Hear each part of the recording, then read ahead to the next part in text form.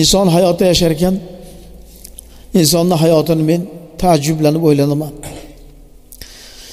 albatta o'zi taqvodor bo'lishi kerak chunki birinchi navbatda inson o'zini jonini qutqarishi turadida namozda qarang masalan shu dunyoda bir baloga ro'para keladigan bo'lsak otamizni o'rniga bolamizni o'rniga do'stimizni o'rniga o'zimizni jonimizni fido qilib yuboramiz lekin oxiratga borganda bu masala qiyinroq bo'lib qoladi shekilli shuning uchun oxiratlik ishimizni oxirida namozda mana allohimma mag'firli deb avval o'zimizni duo qilamiz. Xudoyo meni mag'firat qilgin. Vali volidayya ota onamni mag'firat qilgin. Ota onani ulug'ligini ko'rib qo'ying. Ustoz ota onadan ulug' deymiz. Lekin bu yerda avval ustozni gapirmasdan allohu mag'firlidan vali volidayyani keltirgan. Nimaga shunaqa ekan desa javob aytishimiz mumkinki g'olibo ota onalar o'zi ustoz ham bo'lganda bolasiga. Bolam xudo bitta deganda. Xudoni vahdoniyatini o'rgatgan otamizda onamizda. Kelinlar muslima ayollar tili chiqmagan bolalarga olloh bitta deb qo'lida ko'rsatishni o'rgatadi. Olloh bitta deb qo'lida ko'rsatishni o'rgatadi o'sha olloh bitta deb qo'lida ko'rsatish bilan faxrlanadi. Olloh bitta deb qo'ydi opa qaynotasiga olib chiqib ko'rsatadi. Olloh bitta degizadi. Qo'lida ko'rsatadi haligi bola tili chiqmagan hali. O'sha kelin o'zini bolasiga ustozlash. Xudoni va hadoniyatini hali tili chiqmagan bolasini qalbiga solishga urinyapti. Inson yashar ekan dunyoda avvalo o'zini taqvodor bo'lib olishligi eng zarur narsa. Bir hadisi sharifda mastafadal mu'min ba'da taqvallohi taala xayron min zavjatin solihatin degan hadislari bor. Mo'min taqvoni qo'liga kiritgandan keyin soliha ayoldan ko'ra kattaroq bir foydali narsani qo'lga kiritmagan deganlar. Mo'minni foydasi birinchi o'zini taqvodorligi undan keyin pokiza taqvodor xotinga muvaffaq bo'lgani xudo bunga nasib qilgani deganlarda ana o'sha yerda ham taqvoni birinchi o'ringa qo'yilgan. Demak inson hayotida birinchi o'zini ibodatini hayotini hammasini shariat andozasiga muvofiq qilib olish kerak. Ana undan keyin xuddi haligi duodagi alloh firli vali validayani singari endi ota onani xizmatini qilish kerak hayot bo'lsa. Vafot bo'lgan bo'lsa doimo ularni mana namozlarda farzu vojibu sunnatu nafl namozlarda ham hammasida vali validaya bor. Duo qilamiz.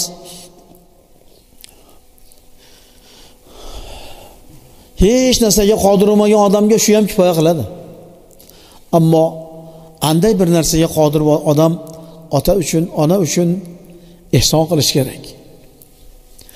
Otamiz ko'ylak olib kiydirgan o'zi bizni yasantirib xursand bo'lgan. O'zi uncha qiziqmaydi otalar. Bir chiroyli kiyim kiyishga farzandiga kiydirishga qiziqadi. Farzandini yasantirib qo'yib ko'zi quvnaydi. O'zini ustida yirtiq to'n bo'lsa ham mayli.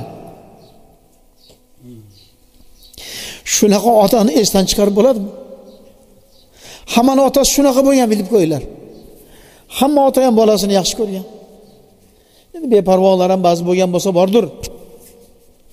Aksar g'olib ish otalar bolasini yaxshi ko'rgan. Bola bilan faxrlangan bolasini maqtovini yaxshi ko'rgan. O'zini maqtagandan ko'ra bir odamga bolasini maqtab bersangiz osmonga uchib ketadi.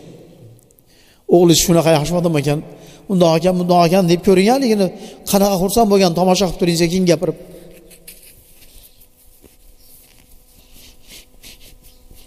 Otalarni xudo rahmat qilsin. Otalarni xudo rahmat qilsin. Bolalar hech qachon otani onani qarzini haqqini ado qilolmaydi otadan onadan qarzini uzolmaydi hikoyalarda keladi.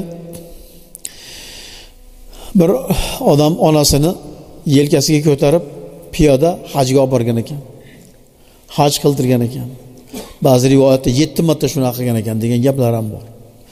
Endi onamni haqqini ado qildimmi deb so'raganda ulamolardan aytgan ekanlarki bir kechada bir marta uyg'ondim seni uyqusida bezovta bo'lib seni emizganini haqqini ado qilolganing yo'q hali degan ekan chunki u o'shani qanday tushunishimiz kerak? O'sha onaxon joni dili bilan xursandlik bilan turib bolasini emizgan. Bolani erkalatib peshonasini silab uyqum buzilib qoladi uyqum qochadi demasdan uyqudan kechib rohatidan kechib bolasini yaxshi ulg'ayishini tilab xudodan iymonini saodatini tilab emizgan. Turib kechada bir marta mashaqqat qilib qo'yishlik o'zidan o'zi e, shunchaki bir mashaqqat emasda bu. U mashaqqatni bahosi baland mashaqqat u. U bir mafkuraviy mashaqqat u. Ko'p ajoyib fikrlar jamlagan bir mashaqqat u. Onani haqqi shuning uchun ulug' inson hayotda demak avval o'zini taqvosini yo'lga qo'ygandan keyin endi otani onani rizosini topish.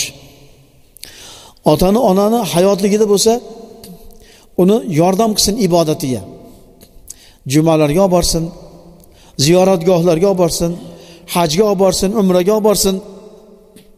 Ota onasini yaxshi kiyimlar kiydirsin sallalar salla o'ramaydigan bo'lsa otasi sallalarni olib bersin. Sunnatga amal qilib qolishligini bir janobi payg'ambarimiz alayhissalomni shafoatlariga mustahik bo'lib qolishligini orzu qilsin. Ibodatiga oxirati uchun otasiga yordam qilsin. Ham dunyolik ham oxiratlik xizmatini otasiga qilsin.